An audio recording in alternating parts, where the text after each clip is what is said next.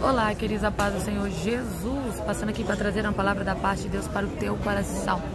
Quantas vezes estão rindo e debochando das obras das nossas mãos? Sabe por quê? Porque aquilo que nós estamos fazendo no exato momento não faz sentido. Eu imagino que assim era com Noé. Quando passavam diante dele, riam e debochavam da arca, porque ela não fazia sentido. Mas só puderam rir de Noé até o dia em que o Senhor abriu os céus e fez chover naquele lugar. Sabe por quê?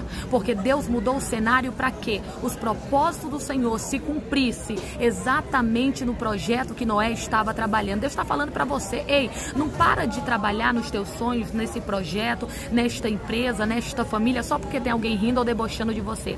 Só vão poder rir até Deus abrir os céus, mudar o cenário e cumprir os seus propósitos dentro desta obra. Descansa o teu coração e continua fazendo com excelência, porque Deus vai honrar os teus esforços.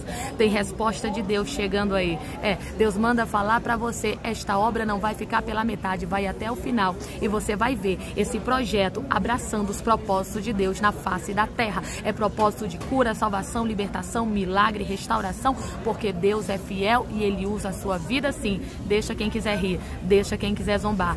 Deus vai honrar os teus esforços aí neste lugar. Se você crê numa posse, recebe, confirma aí nos comentários com o teu. Amém.